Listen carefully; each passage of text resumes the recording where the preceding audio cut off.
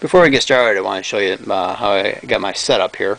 Uh, it's just a it's just an arbor here. It has uh, eight inch expanding drum on this side, and then a, grinding uh, shaping wheel on this side. Here I have a 60 grit, and uh, it's just a gravity water fed. Uh, all I did was put a little bucket here and attached it to the ceiling, and then got some plastic hoses here, plastic hoses from Home Depot, and just uh, cut out and uh, put these brass uh, fittings on there to control the water.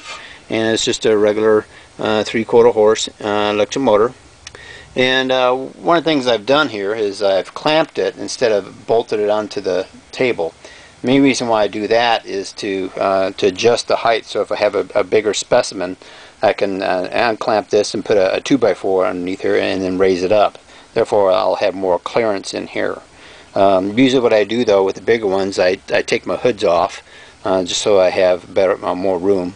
And if you're if you're in a shop where you can get get dirty, well, you can see here my carpet here. It's just uh, full of full of um, silt here, but from grinding and sanding. But anyway, uh, this is how I set up. I got these uh, hoods from from um, again from from Raytech, and uh, you got to order them. And they uh, they make them. They don't have them in stock, so they, they they custom make them. But it took me about a month to get them, a month or two, I think.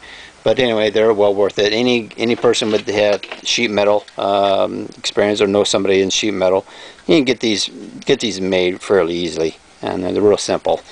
But anyway, just thought I'd show you the setup before we get started.